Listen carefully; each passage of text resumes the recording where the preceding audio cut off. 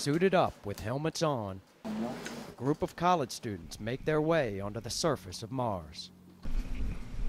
Well, not exactly. This is the southern Utah desert. But for the nonprofit Mars Society, it's about as close as they can get to simulating life on the red planet. Really, what we're trying to do is not train individuals, we're trying to write the field manual. The group's mission is to raise awareness and advocate human exploration of Mars. Everybody says we should practice before we go to Mars, but some people say we need to practice on the moon.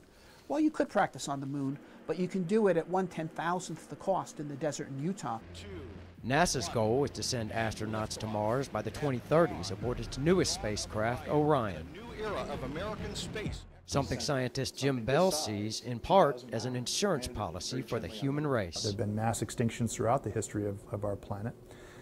And if we're, all of our eggs are in this one basket as a species, this one beautiful Earth basket, then we are taking a chance on some kind of mass extinction.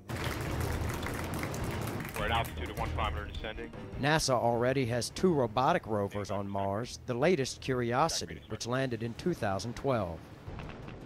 The more we learn, the, the more we increase our chances of adapting and surviving as things change on our own planet.